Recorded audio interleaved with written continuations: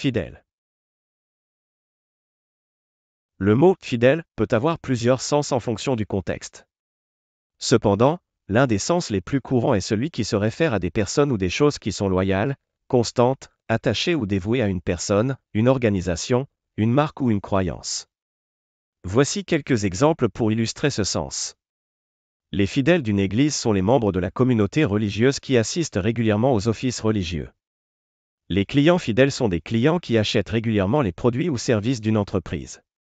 Les fans fidèles d'une série télévisée sont les spectateurs qui regardent tous les épisodes de la série et qui restent attachés à elle-même après sa fin. Les amis fidèles sont des amis sur qui l'on peut toujours compter, qui restent à nos côtés même dans les moments difficiles. En somme, le terme fidèle désigne des personnes ou des choses qui sont attachées et qui restent loyales dans une relation, quelle qu'elle soit.